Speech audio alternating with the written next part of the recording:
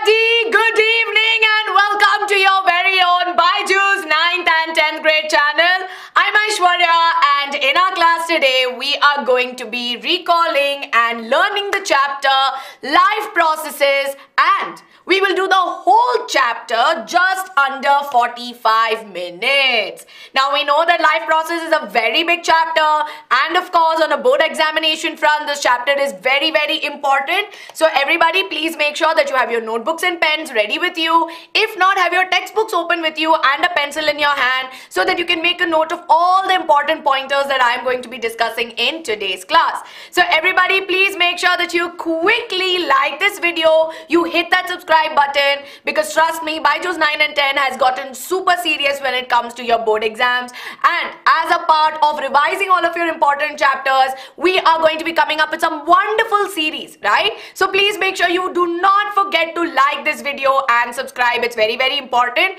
And like in every class, I tell you, let's have a target of maybe having 100 or 200 likes. Let's aim for that, right? So let's aim for having 100 likes on this video. Yes? If not 100, let's go for 200 likes likes on this video by the end of today's class. Yes. So in 45 minutes, we also have a target of hitting 200 likes. So do not forget to share this video. Yes.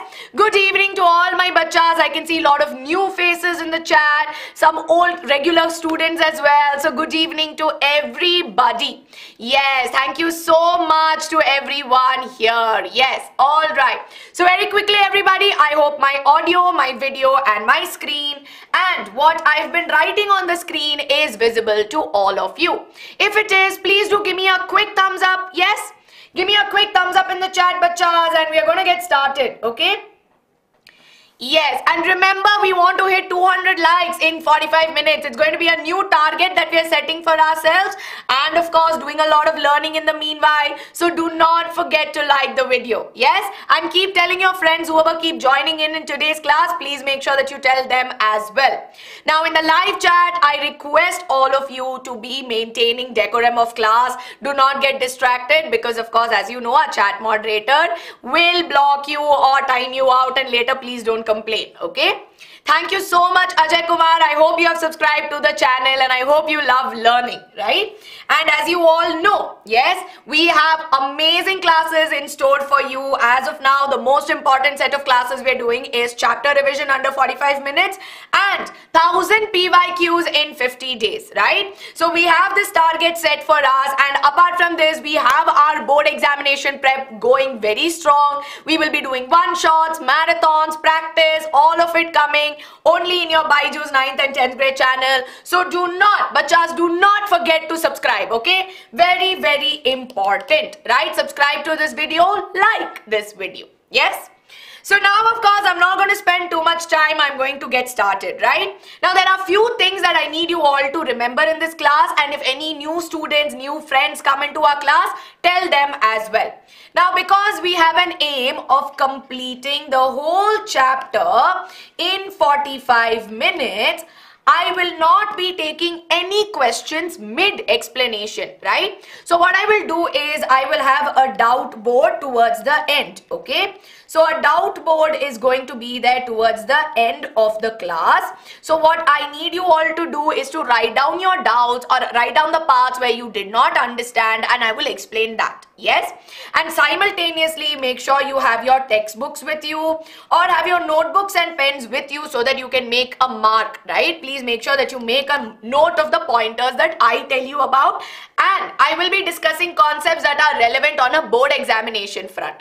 So I need 45 minutes of your time undivided attention okay undivided attention into what I am speaking, what I am explaining, what I am revising, right? Because life process is not a chapter that you are going to read for the first time right? But life chapter is going to be a chapter we will keep revising until we learn, right? And for those of you who might be feeling, ma'am, I might be wasting my time, trust me, you will not be wasting your time. You will definitely be learning and revising, yes? So everybody, please make sure. These are things I'm telling you now only so that later on when you ask me midway why you didn't do this, why you didn't do that, I am letting you know, right? This is how we're going to do it. So let's get started everybody with life processes.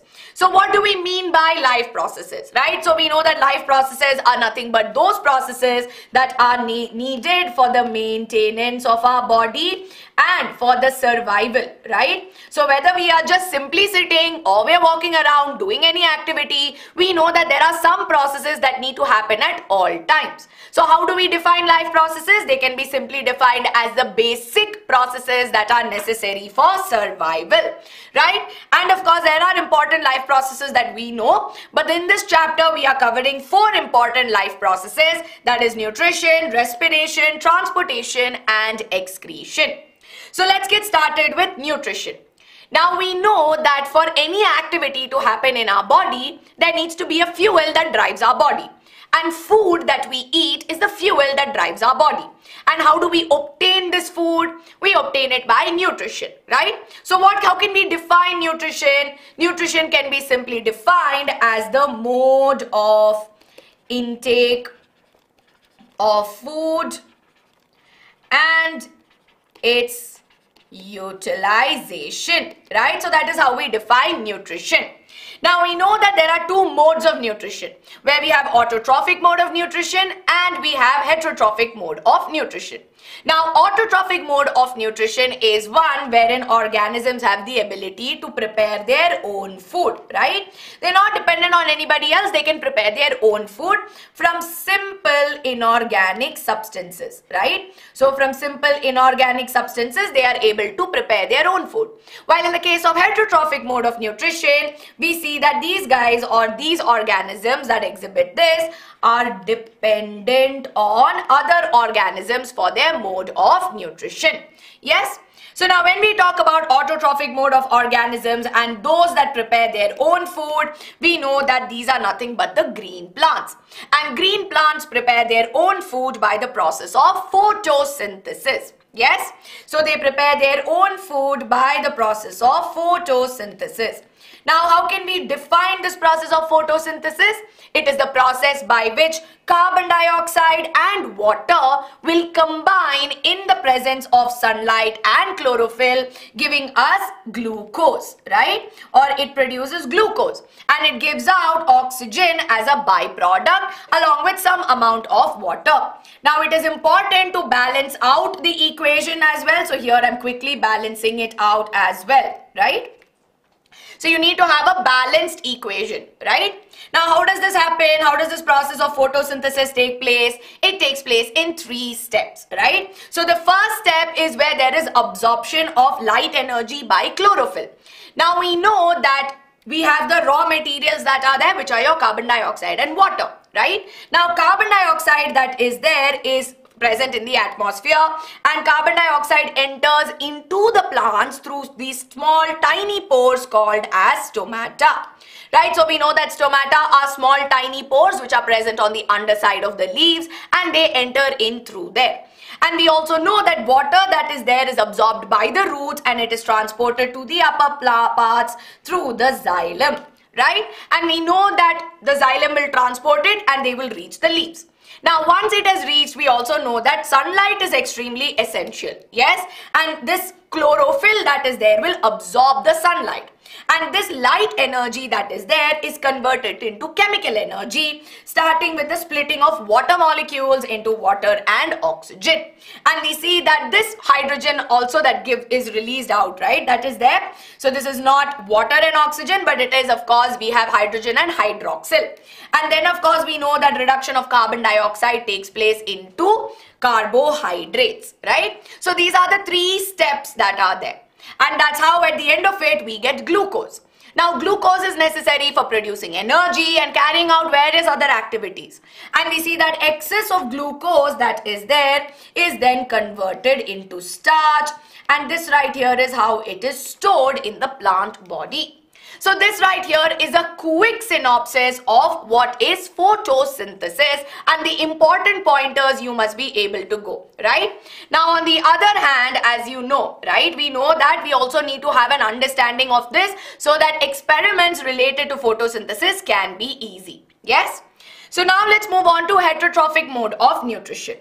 Now talking about heterotrophic mode of nutrition, we know that there are various modes of heterotrophic mode of nutrition or different types of heterotrophic mode of nutrition.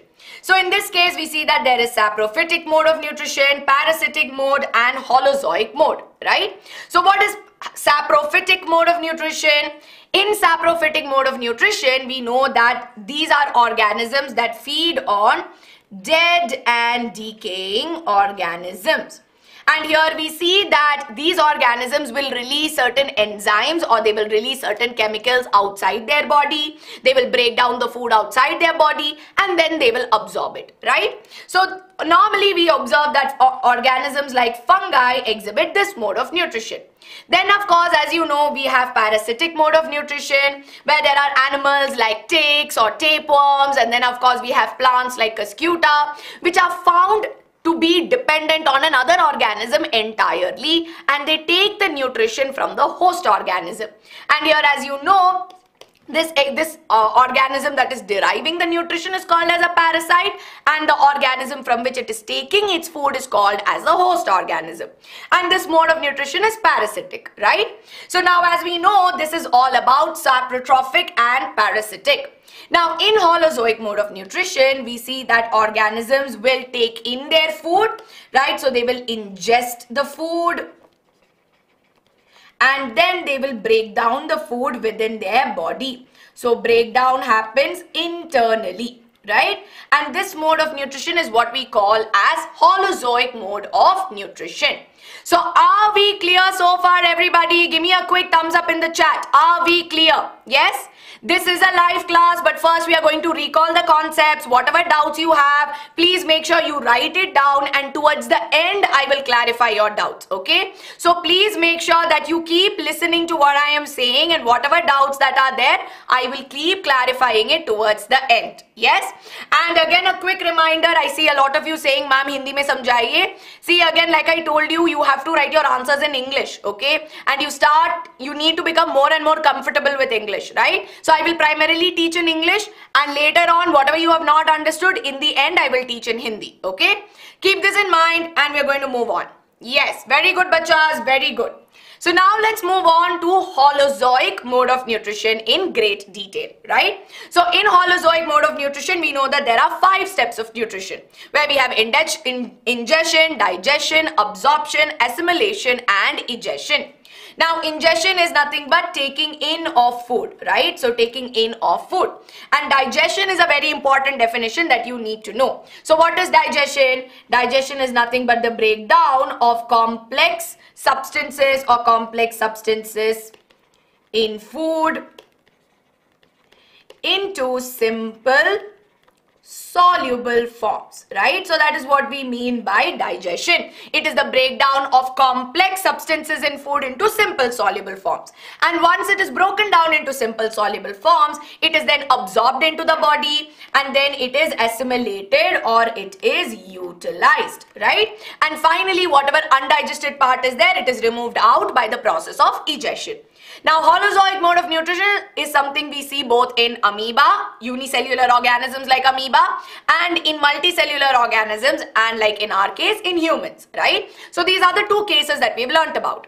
Now, in the case of amoeba, right? So when we talk about amoeba, things you need to remember. We know that there is usage of pseudopodia in the formation of a food vacuole. So that's how they ingest their food.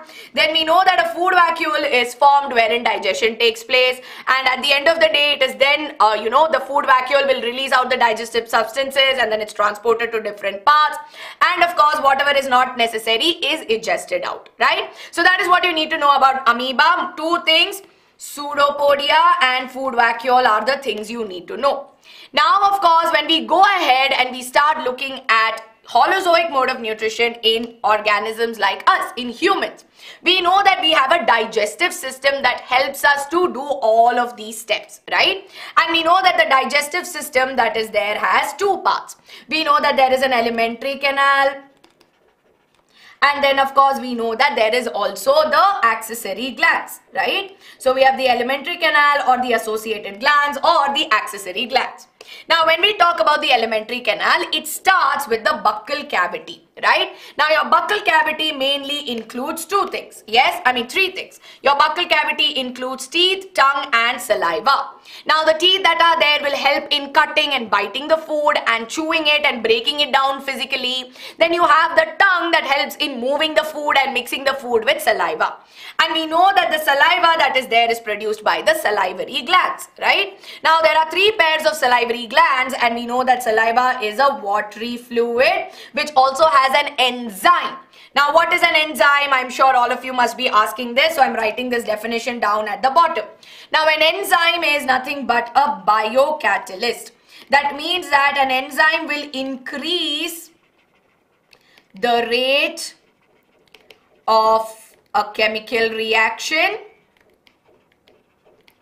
but it will not get involved in it, right? And because it has it's present in our body, we call it as a biocatalyst. Now in saliva, we see that there is salivary amylase which is present, right? And we see that this salivary amylase that is there is responsible for breaking down starch into simpler sugars. Mind you, I am not saying simple sugar, I am saying simpler sugars, right? And we see that this breakdown starts from our mouth itself, right? And we see that the saliva, I mean the tongue will then bind the chewed food and the saliva, resulting in the formation of a bolus. And once we swallow it, it will then move on to the next part, which is the esophagus or the food pipe right? And we know that from the food pipe, it will then go on to this flattened J-shaped structure called as stomach. Now the movement of food along the alimentary canal, right? So the movement of food along the alimentary canal happens by a process of peristalsis, right? What is peristalsis? Peristalsis is the movement by which there is which is caused by the rhythmic contraction and relaxation of the muscles which results in a wave-like motion, right? So that is what we mean by it. And we see that through peristalsis, it will move throughout the alimentary canal. Now, once it has reached the stomach, right? Once it has reached the stomach, we know that the stomach will now secrete some juices. And we call this as the gastric juices that are there. Now, the gastric juices has three things. We have hydrochloric acid, there is mucus, and there is an enzyme which is known as pepsin. Now the hydrochloric acid that is there will destroy any unwanted particle that has entered along with the food and of course it will activate the enzyme pepsin. Now mucus will protect the inner linings of the stomach from the acid. And we see that pepsin will act on proteins and it will facilitate the breakdown into smaller proteins, right? Or what we call as peptides. And we know that here it will take, you know, it will churn the food for about 3 to 4 hours, right? And from here it will then move on to the intestine. Now, once it moves on to the intestine, we see that the initial, the intestine, where, I mean, the next part it will go to is the small intestine, right? And the initial part of the small intestine will receive secretion from pancreas as well as liver and gallbladder. Now here we see that the liver that is there will produce something called as bile juice. Now bile juice has two things to do, right? So bile juice will also provide or make the medium alkaline for the acting of the pancreas, the juices, I mean the enzymes which are present in the pancreas, right? And we also see that it facilitates a process called as emulsification. Now what is emulsification? Emulsification is nothing but the conversion of large droplets of fat into simple or smaller droplets to be precise, right?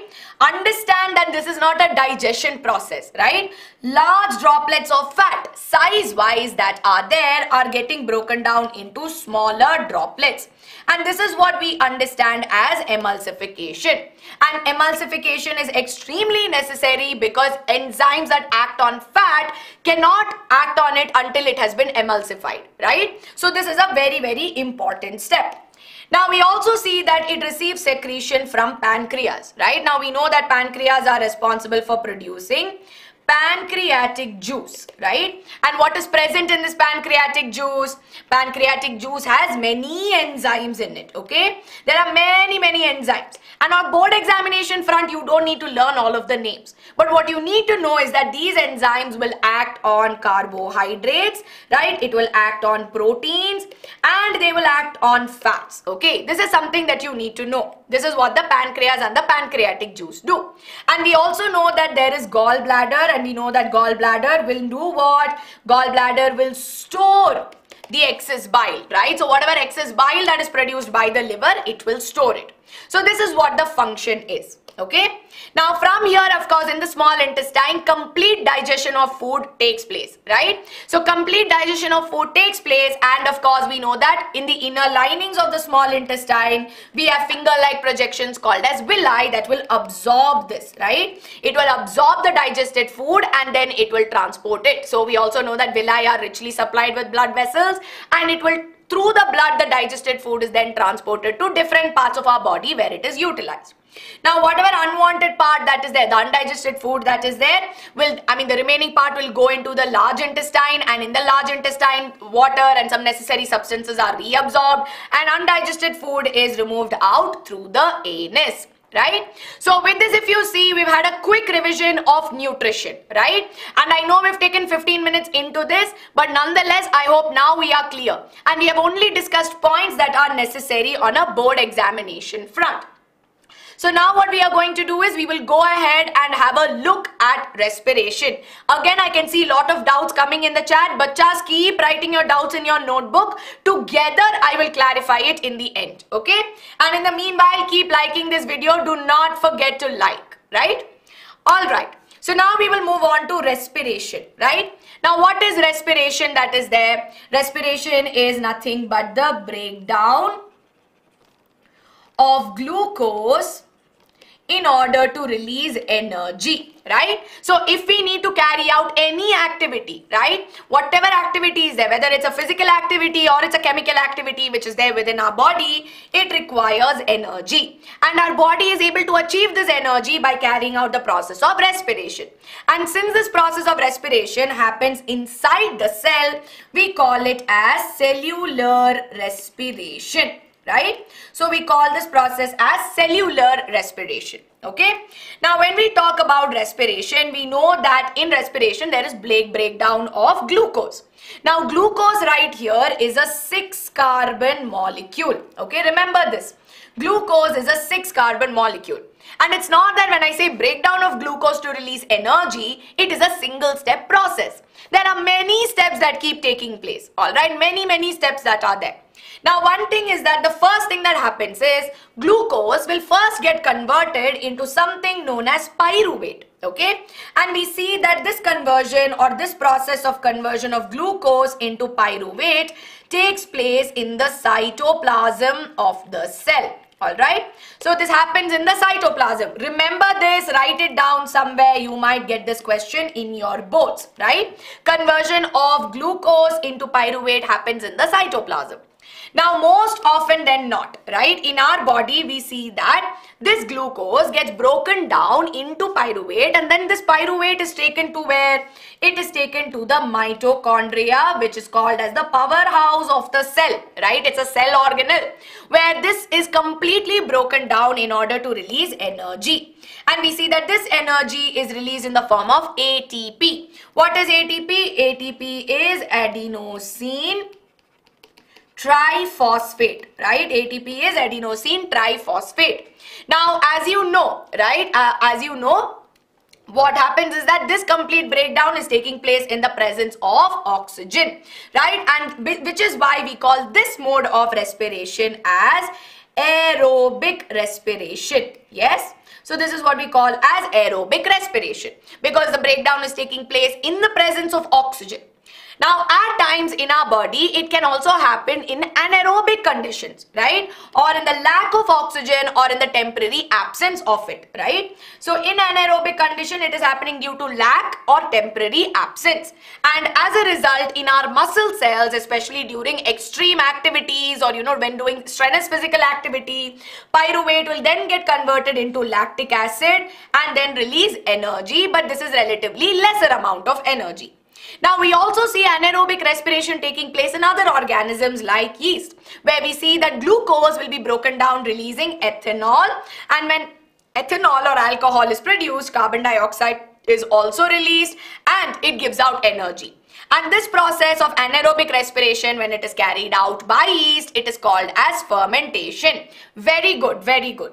So this is about the basics of respiration and the types of respiration. Now we need to focus on aerobic respiration, especially in our body. Now in aerobic respiration, we also see that oxygen is a key factor.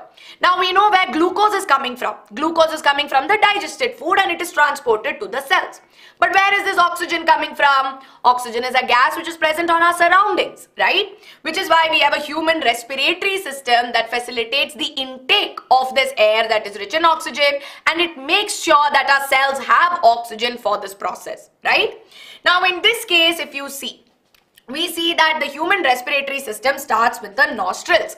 Now what are nostrils? Nostrils are nothing but two openings which are present in our nose and through the nostrils it will enter into the nasal cavity, right? And the inner linings of the nasal cavity have hair and it produces mucus and it traps any unwanted substances which might enter along with the air okay?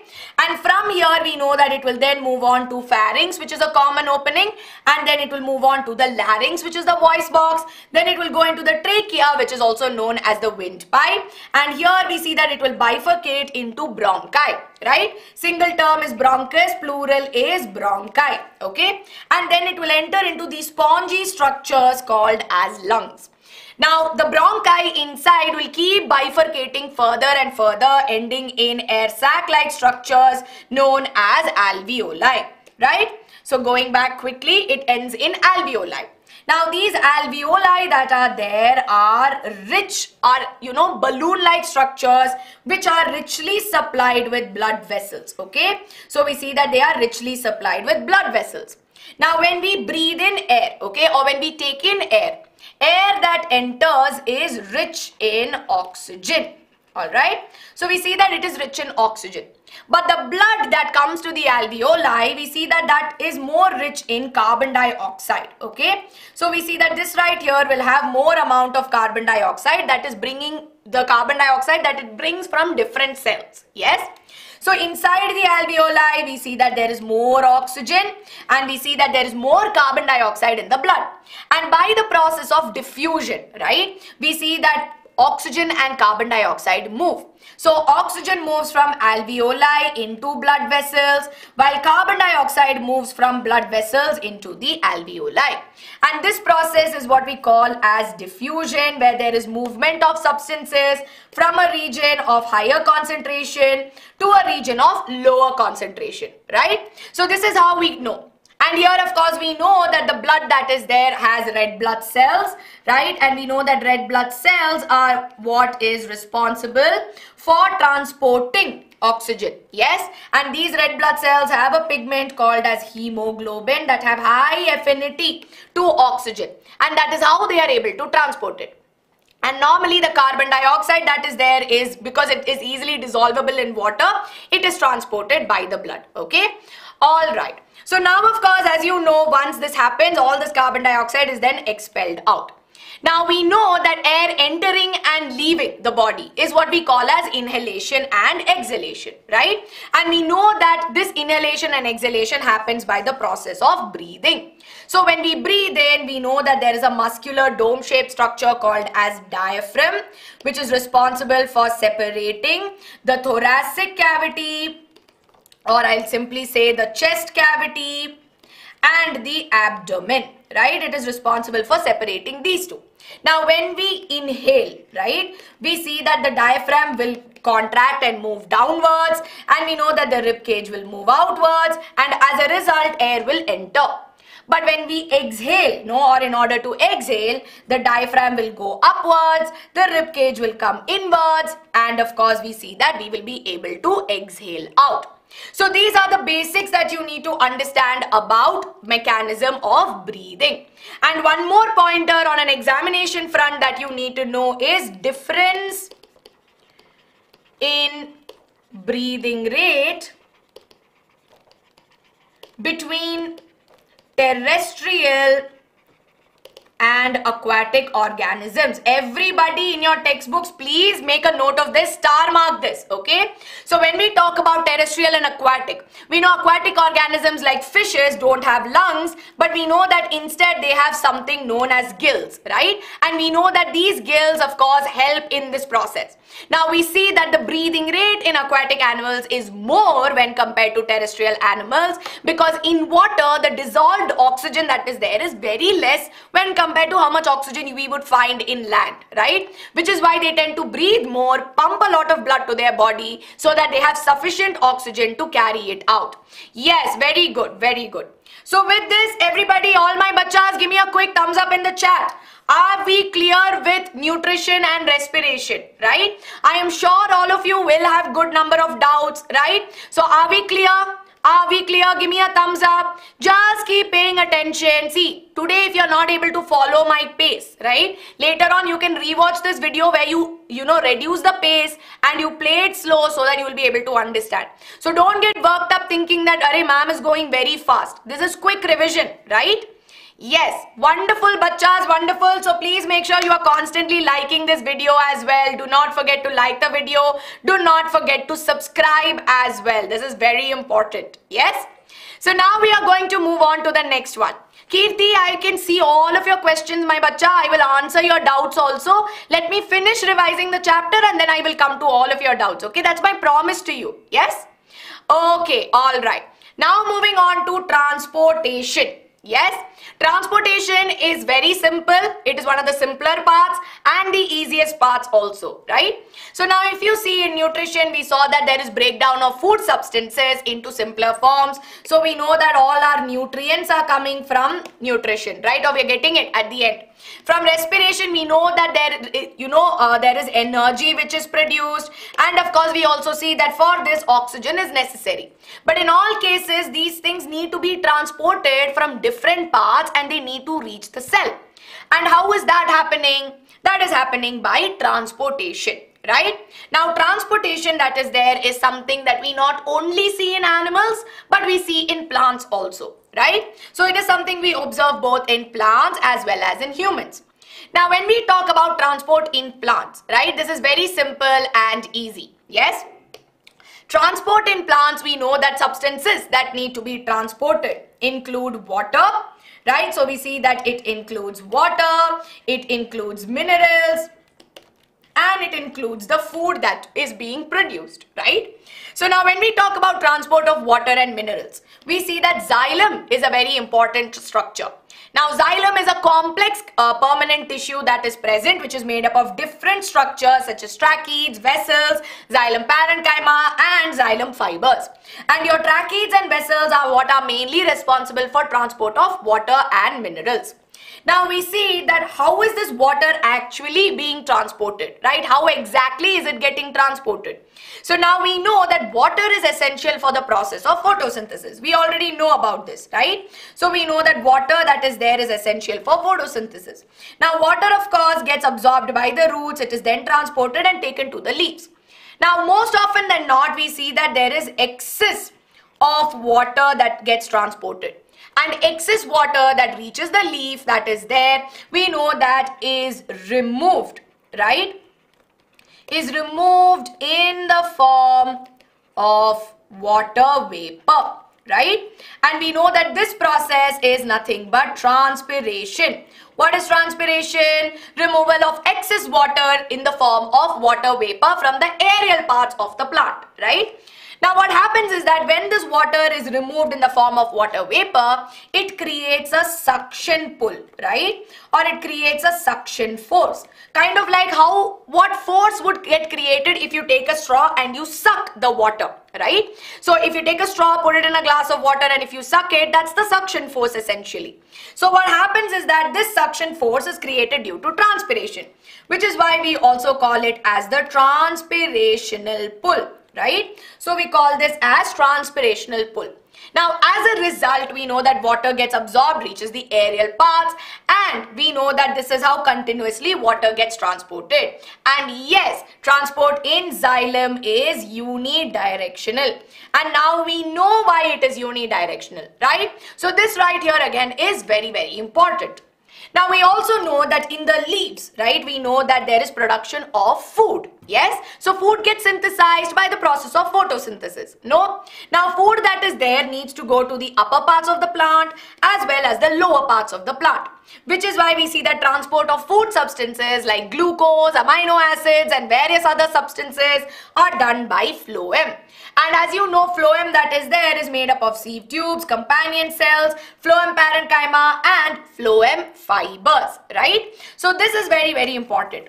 Now, in the case of phloem, right, we see that for transport of food takes place by a process known as translocation right so what is translocation it is nothing but the transport of food in transport of food through phloem right? Now in this case, if you observe, we see that energy in the form of ATP is required. So energy is utilized for this process. Now when I was explaining transport or this transpirational pull and like how Kirti has mentioned ascent of sap, right? So during ascent of sap, what we see is that there is no energy that is getting consumed. But in this case, we see that energy is getting consumed, right? And here, of course, we also see that it goes from a region of low concentration to high concentration, creating an osmotic pressure.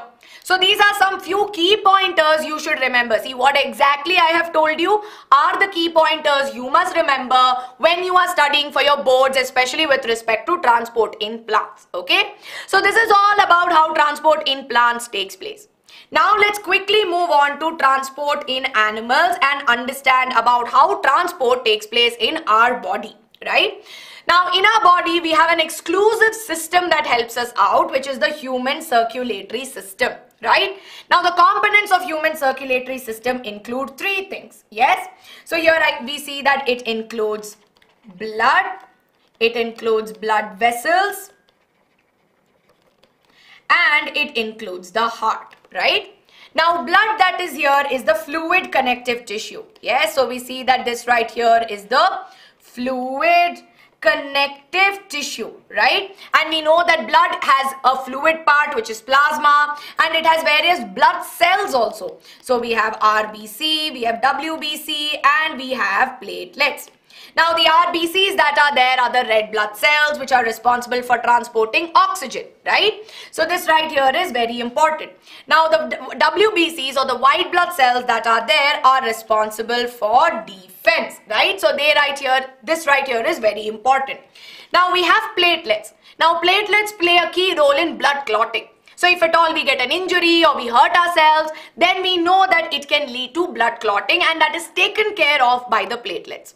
Now we also know that one of the primary functions of the blood especially is transporting oxygen and carbon dioxide. Now for this we have specialized tubes or structures which are known as blood vessels. Now there are three kinds of blood vessels okay. So we have arteries, we have veins and of course we have capillaries. Now the arteries are most often than not defined as blood vessels that transports blood away from the heart to different parts of the body. And mainly, right, most arteries are responsible for transporting oxygen rich blood or what we call as oxygenated blood Okay. Again, understand and remember, I'm telling you, most arteries are responsible for this. And because they transport blood away from the heart, right? We see that they, uh, and because they transport blood away from the heart, blood flows with very high pressure inside the arteries, right?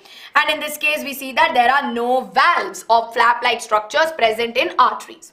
Now when we move on to veins, right, when we talk about veins, we see that these are structures which bring blood from different parts of the body towards the heart, okay? And most veins that are there transport blood which has more carbon dioxide, okay? It has more carbon dioxide because it's bringing from different parts of the body, right? While on the other hand, we see that this kind of blood is what we call as deoxygenated blood. And now as you know, because it's coming from different organs and not from the heart, it's not emerging from the heart, we see that blood flows with low pressure right? And in order to prevent backflow of blood valves are present yes? So these are the main points of difference between veins and arteries and this can be a question that you can get for 3 marks to differentiate between arteries and veins right then you have capillaries, right? Now when we talk about capillaries, yes, so let me use another color. So capillaries that are there are nothing but thin walled structures, okay? They are thin walled and they are so thin that they are just one single cell thick all right and we see that capillaries are where we observe exchange okay so exchange of gases oxygen going from the blood carbon dioxide entering into the blood all takes place at the Uh, you know capillaries right? So this is the main function that you know, need to know with respect to capillaries. So now we have looked at blood and we have looked at blood vessels. Now the main organ of the circulatory system that is there and you, please everybody take a screenshot of this very quickly or you can come back and take a screenshot because this slide might not come back again. So you can take a screenshot fatafat right so now coming back, the main organ that is there is nothing but the heart, right? Now when we talk about the heart and especially the human heart, we know that the human heart is a four chambered heart, right? So we see that it has a four chambered heart. Now quickly to use a simpler as uh, image to explain this. There are two upper chambers and these two upper chambers are what we call as the atria or the atrium and there are two bottom chambers which we call as the ventricles right? So the atria i always say are the receiving chambers and the ventricles that are there are the pumping chambers. Now apart from this we also see that the heart is divided into the right side and the left side right? So we see that it is divided into right side and left side now the right side mainly receives deoxygenated blood and the left side receives oxygenated blood. Okay. So now in this case if you see we have the right atrium, we have the right ventricle, the left atrium and the left ventricle. Now between the right atrium and the right ventricle we see that there is a tricuspid valve which prevents backflow and between the left atrium and the left ventricle we also see that there is the bicuspid valve which prevents backflow. Now understanding the remaining blood vessels with double circulation becomes easy right? So now we know right? Okay going back we know that the right side of the heart right? So when we look at the right side it receives the deoxygenated blood from different parts of the body through one of the largest veins that are there which is the vena cava and we have two kinds of vena cava which is the inferior and the superior and the inferior. Superior means from the top parts right? Superior means top. So from the top parts of the body it brings deoxygenated blood. While inferior vena cava brings in the deoxygenated blood from the bottom parts right? And we know that it will bring it to the right atrium now the right atrium will then transport it to the right ventricle. Now the right ventricle will pump this blood all the way to the lungs for oxygenation. And the blood vessel that is responsible for transporting it from the heart to the lungs is the pulmonary artery. And pulmonary artery is the only artery in the body that transports deoxygenated blood okay? And once it reaches the uh, lungs we know that alveoli are there oxygenation takes place. And from here we see that there is a blood vessel which is the pulmonary vein which is the only vein in the body that transports oxygenated blood. Now it is rich in oxygen no? Now this will come to the left atrium. And left atrium will pump it to the left ventricle. And from the left ventricle we see that the aorta which is the largest artery in the body will transport oxygenated blood to different parts. Now here if you see the same blood is entering into the heart twice. So this is what we define as double circulation of blood. When the same blood enters the heart twice, we call this as double circulation right? And here we see that there are two circuits which are present right? We see that there is a pulmonary circuit which is the circulation that exists between the lungs and the heart. And then of course we have the systemic circuit which which eh, which is a circulation that exists between the heart and the body. What do capillaries do? They are responsible for exchange of gases. They facilitate exchange of gases right? So with this if you see we have recalled transportation everyone are we clear with this? Are we clear with transportation? Have we recalled it? Give me a quick thumbs up in the chat. Everyone, fatafat give me thumbs up. Why is it called pulmonary? Because it is going to and, you know, it's going between the lungs, no heart and lungs. Pulmon means lungs, right? That's why pulmonary. Yes, very good, very good. Now I hope all of you have liked the video and you have subscribed to the channel. Okay, do not forget to like this video. Yes? Okay, very good. So now we will quickly move on to the last part which is excretion. I will finish this in 5 minutes. Okay. 5 minutes and I'll keep 10 minutes for doubt solving. So stay focused bacha. Stay focused. Okay. Now we're going to be looking at excretion. What is excretion? Excretion is nothing but removal of nitrogenous metabolic waste from the body right? So this is what we understand as excretion. Now, excretion is necessary to happen inside our body because we know that nitrogen is metabolic waste. If it accumulates within our body, it can be toxic and hence it needs to be removed periodically from our body. Now, it's not just in our body, in plants also, it needs to be there, right? So, we know that in the case of plants, right, unnecessary or remove whatever metabolic waste that is there is removed either in the form of salt or it can be loss of water.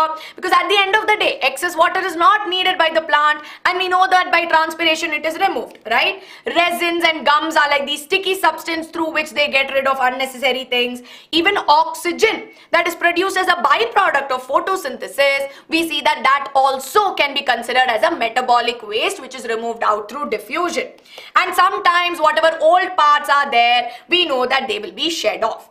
Now, in the case of humans, we know that there is an excretory system which is involved, right? So, we see that the excretory system and the main excretory organ, right? So, we see that the main excretory organ that is there are the kidneys. And we see that we have a pair of kidneys which are located in the abdomen region. And we also see that from the kidney there are these long tubular structures called the ureter which bring in and then of course I mean we have the ureter then we have the urinary bladder and finally the urethra. Now we know that the toxic meta I mean the nitrogenous metabolic waste from our body is removed in the form of urine. And we know that urine formation takes place inside the filtration units called as nephron. So nephrons can be defined as the filtration units filtration units or we also call them as the structural and functional unit of the kidneys. Now the structure of the nephron here is very very important on a board examination front. They can ask you the difference between nephron and neuron also. So remember this. Okay. Where is the kidney situated? In the abdominal region. Now, if you look at the structure of nephron, we see that it has a glomerulus, which is a, you know, a tuft of capillaries, or you can say that it is a network of capillaries, all right? And this is like a, you know, like a ball of capillaries, which is sitting on a Bowman's capsule. And we see that when we say that, uh, you know, glomerulus is a, uh, what do you say, like a ball of capillaries, right? We see here that the blood is what brings in all this toxic material, okay? And we see that here in this Bowman's capsule, we see that ultrafiltration takes place, okay? So kind of think like your water filter. Know how the water filter will remove all the unnecessary things and it will filter out only what is good. And because this filtration is happening in the glomerulus, we call it as glomerular filtrate, right? And this filtration takes place at very high pressure. At high pressure, it will be filtering out which is why we also call it as ultrafiltration because it's taking place at very high pressure. Now we see that once it is filtered out, we also see that all this, you know, unnecessary toxic metabolic substance, which in our body is in the form of urea, urea along with, you know, sometimes glucose, amino acids, water, all of this will get filtered, okay? Now, glucose, amino acid, water and all is very important to our body right? Which is why in the tubules, they will get reabsorbed. And whatever excess water is there, sometimes might get secreted back, but nonetheless, it will be filtered out. And at the end of it, we see that urine is formed by, by the time it reaches this part. And then, of course, it goes into the collecting duct. And all these collecting ducts that are there, no, they will pour their secretion and all this urine that is there let me just, huh. All that urine is then poured from the kidneys into the ureter. Then it will go into the urinary bladder where it is stored for a brief amount of time. And once it is the right time, a message will be sent to the brain. And then it will signal the muscles here to relax. And through the urethra, it will be expelled out. Yes? So everybody, with this, we have revised full life process. Not in 45 minutes, but to be honest, yeah, roughly keeping 5 minutes apart, I have actually finished this in 45 minutes. So now everyone, are we clear? Are we clear with what we have learned? So this is a quick recall for all of you, right? So on nutrition, on respiration, transportation and excretion. Yes, are we feeling confident with life processes? I will take your doubts right now, okay? Now I know there are a lot of doubts. Ma'am आपसे कुछ पूछना है जरूर पूछिए ma'am lymph okay see lymph i know is a very tricky concept all right now in the capillaries right when blood is flowing sometimes there are some leaks okay kind of like a leaky pipe no so when there are leaky pipes that are there what happens is that through these leaky pipes sometimes some plasma or sometimes some wbcs will squeeze out all right now these capillaries are also surrounding blood vessels. No. So what happens is that this all this plasma and everything will start surrounding here. It will go around the cells which is what we call as the extracellular fluid. Now it is outside the cell so it is extracellular fluid. Now what will happen is that this is not very good for the body. Now it's out of balance which is why most often than not the remaining ones will go back inside the blood channels. But the remaining plasma, WBC, some proteins, they will all get redirected into another vessel. It's not a blood vessel but it's another vessel in the body which we call as a lymph vessel. Okay. And this fluid inside the lymph vessel is what we call as lymph. Okay. All right. Okay, Karthik, uh, I hope that, um, you know, you can send that down to me in the comment section. I will answer. Ma'am, how does transpiration help in movement? Because it creates a suction, okay? It will create a suction force and that's why the water will go up. That's how transpiration helps in movement of water. Ma'am, why is pancreas known as dual function? Because pancreas not only secrete, you know, digestive juices. We have also learnt in control coordination that it also secretes hormones, right? So it is an exoendocrine gland, okay? Yes. Ma'am, starch is broken down into simple sugar in the intestine also. Yes, it is. So we have amylase, pancreatic amylase that converts starch into maltose. That also happens. Translocation, translocation that is there is nothing but when transport of food takes place, right? So we know that food is transported from the leaves into the phloem by translocation. Ma'am, complete digestion to nahi hoga bachas. If you have directed doubts, ask me. But digestion is nothing but the process of breakdown of food into simple soluble forms, right? Ma'am, in how many seconds I actually, uh, ma'am, glomerulus once again. Okay, See, glomerulus that is there, we see that it is a, okay. So as you know, glomerulus that is there is a network of capillaries, alright? And blood will be flowing through it. Now there is a difference in the diameter of the blood vessel that the tubes that are eh, starting the glomerulus and ending it, right? And here as you know, as the blood grows through this, there will be very high pressure and as a result it will act as a filter and all this urea, glucose, amino acids, all these choto choto molecules will get filtered in Okay, so here we see that mainly here glomerulus act, acts as a filter, which is why we call it as filtration. Transpiration is loss of excess water from the aerial parts of the plant. Trans that is transpiration. Transportation is transport of water and minerals and food substances to different parts, right? Ma'am, will they ask us to write experiments? No, they will not ask you to write experiments, but they'll ask you questions based on it. Yes. Ma'am, heart explanation. Oh, ho. So I, you want structure of heart or you want, um, what is it that you want? Heart is a very easy, you know, broad way of telling. Yes. Ma'am, systolic and diastolic. See, systolic and diastolic is not really part of your syllabus. But see, systolic pressure is the pressure which is exerted when there is contraction, right? So when the uh, atria contract, right? I mean, uh, so when we see that when there is contraction, it is systolic pressure. So when atria will contract, we see that that time the uh, ventricles will relax, right? And when ventricles will contract, atria will relax. So systolic pressure is the pressure that exerts during contraction.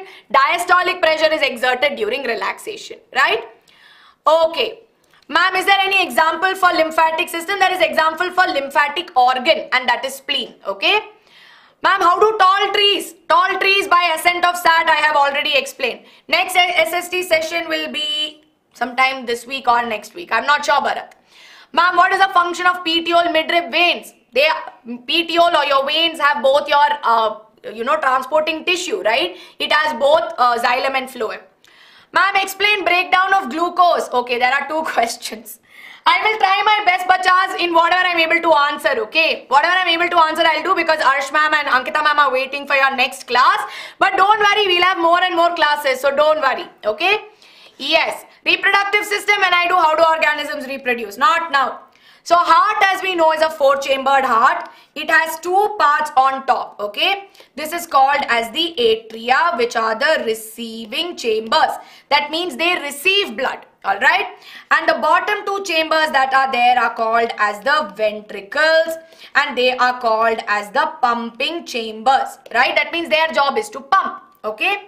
Now apart from this we also see that the heart is divided into right side and it is divided into left side okay why is it divided into right and left for separating uh, so that so that there is no mixing of oxygenated and deoxygenated right so in this case if you see right side receives deoxygenated blood and left side receives oxygenated Yes.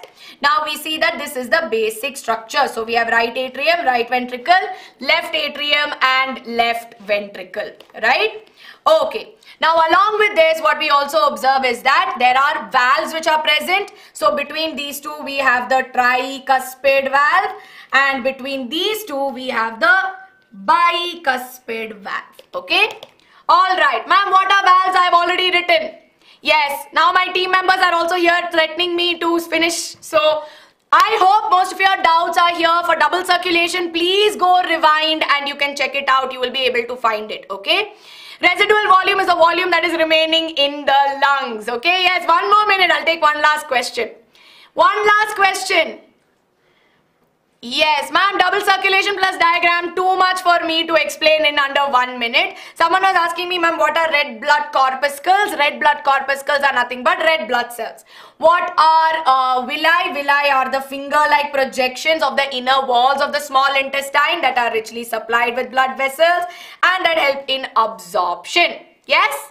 Alright everybody, so with this I am going to be winding it up. Here's a quick reminder for all of you on Parent Club. As you know, Chetna Ma'am is coming live once again on 21st December at 6 p.m. where we will understand why goal setting is important, right?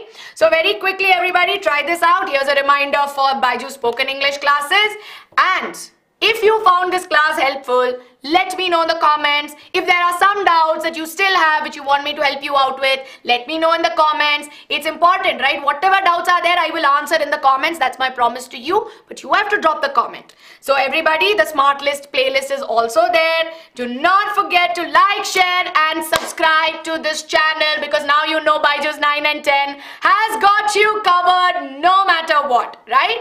Yes, okay. Alright everybody, I will see you all very very soon again. Up until then, take care and bye-bye.